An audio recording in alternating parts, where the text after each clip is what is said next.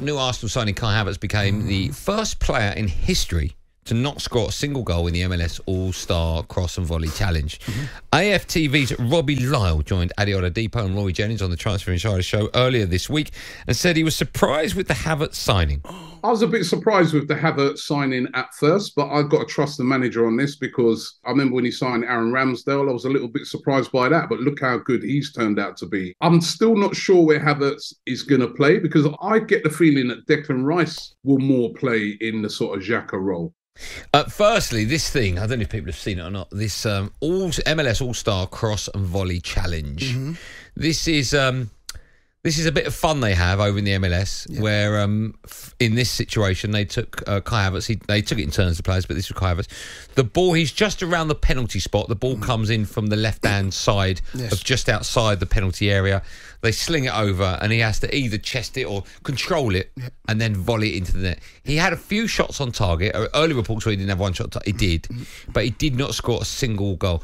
I, things like this do not matter. right? They make no difference whatsoever. The only problem, the only time they matter is when all of a sudden someone goes, he didn't score a single goal. It's the first. And then if he hears about it or his teammates read about it, it's all over social, it then becomes a thing. It does. Right? Absolutely, absolutely right. Are you um are you is there a part of you that's slightly a little bit worried or apprehensive as to Kai Havertz where he plays, how he'll play? Because he he's one of those players I think that he needs to hit the ground running.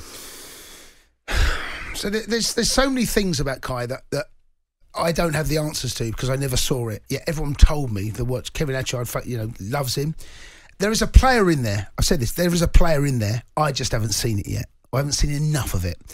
This pre-season thing, it, it's it's a bit of a joke, really. It's it's a it's a skill session that when you look at it though, his first touch needs to be better. But it's, Yeah, that's true. you're back in pre-season. That'll come. Timing comes. I- wouldn't look at this in, in any way and think, "Oh my god." The only thing that Arsenal fans need to look at is his performances for Chelsea, because they were they weren't good enough. So you're You- after here, you're going to Chelsea TV, Yeah. and you've got Wrexham. We got Wrexham. Where one, is that game? One by the way? Oh, it's in the states. Somewhere. Oh, one okay. o'clock kickoff. So you expect him? I mean, pre-season, I don't think means anything. Well, they- he'll, he'll play some part, and it's probably forty-five minutes. who? Havertz. He's not Chelsea anymore. So I'm going mad. so when is when is their next game? I don't know. I don't know when the next Sorry, game I'm going is. crazy. But, yeah, but, when, when, they- my point is that Yeah. he's only going to play 45 minutes, probably maximum in his next game. pre-season is all about fitness. The first and most important thing is you've got to get yourself fit, right? And then you want partnership, especially if you're like Chelsea are going to have new players coming in, partnerships over the pitch, the, the shape of the team the the manager wants to to, to um, adopt, and getting it right. Arteta's been there. What this is his third or fourth year now, right? So mm. so he already have a plan. Most of the players will know what's required of them, right? Kai's going to come in and there's a different role. Have to get used to him. That's what this pre-season's about. I- did you, did you ever see your time at Chelsea? Did you ever see Havertz playing the role that you expect him to play at Arsenal? Did you? Did you have? Do you know, an- I don't know what he's going to do at Arsenal. Here's the thing with Kai: there is technically he can be brilliant, but at the t- same time he can go missing in games. So it, his it, it, overall, if I had to give marks out of ten for his time at Chelsea, it's probably a six. It's a but, six. but, but from that out of 10 mark you've given him, Yeah. a lot of that, if not all of it, is playing in the wrong position. and also playing at a football club that changes manager as a, at, at will. Yeah. Ownership going through sanctuary. It was a very tough time and still is because of what's happened in the past. But ultimately, you still there are parts of a footballer's makeup you look at and go, mm, not quite sure about you. Not not quite. Because of body language, or Just, just, I'm not, I'm not sure he's cut out for the, the t- when the going gets tough, he went missing. That's the truth. Um, but of course, that you then you're absolutely right to mention that the managerial change. He came under Frank. The first game he ever played, he played at Brighton away, and he played on the right hand side, and he looked lost, and it wasn't his best position. And I re- he reminded me a lot of Ozil. When I say Ozil, I'm talking about Ozil, the one that goes missing, the one that doesn't, you know, that that that languid, lazy stroller type of player yeah, that and I, I said to my my um uh, the uh, co- the coach said I said he reminds me of Ozil and that's not a compliment.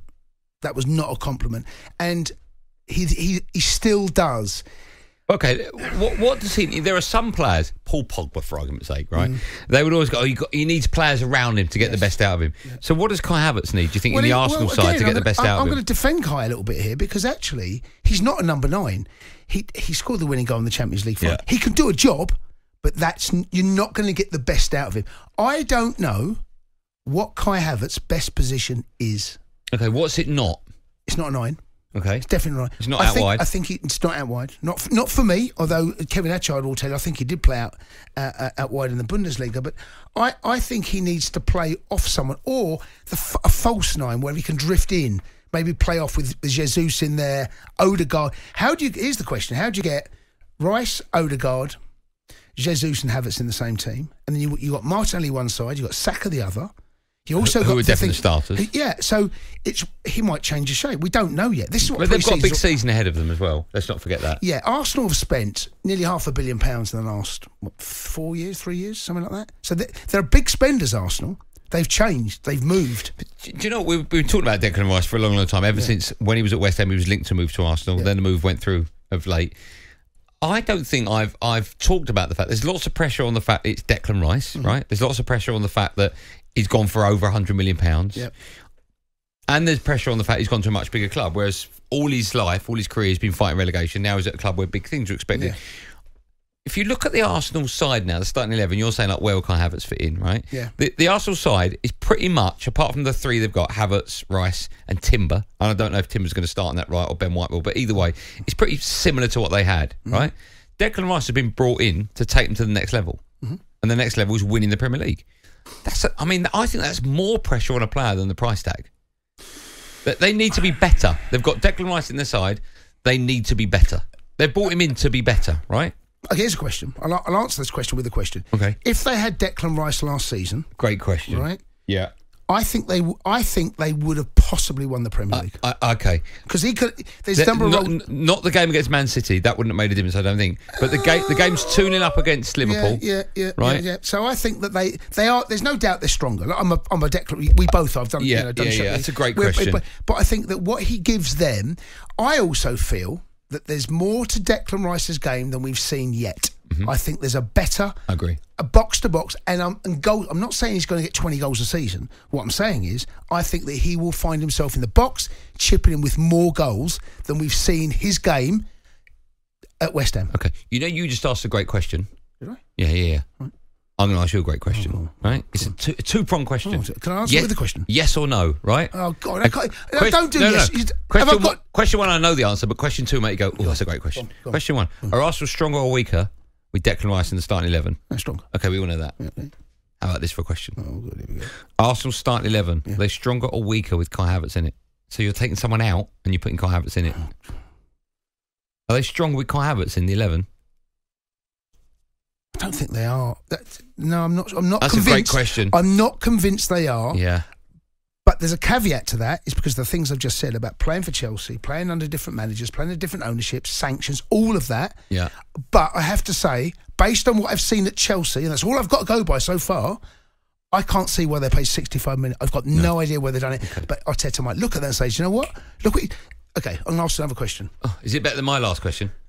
Mm, well, you, okay, maybe, right? Okay. Okay. You right? can't even answer that question. No, I can't, can I? It's a great question, Right, okay. So here's the question to you, right? Can Arteta get the same out of Havertz that he did Odegaard? Because Odegaard was not the top draw player he was when he was on loan. That's a great question. I don't know the answer to that. I, Do I would know what? imagine I mean, he I mean- thinks that. Well, that's why I think he signed. I think he's gone right. You've been misused. You've been mistreated. I Yeah. can see a player, and there is a player in there. Yeah. I ain't seen it yet. I've got a great question for you. Do you Oh, think we've been it? talking about this for too long? Well, I need to go to a break. Yes, I think yeah, that's right. Talk Sport Drive with Andy Goldstein. Monday to Friday afternoon from 4 on AM, on DAB, via the Talk Sport app and on your smart speaker. Talk Sport.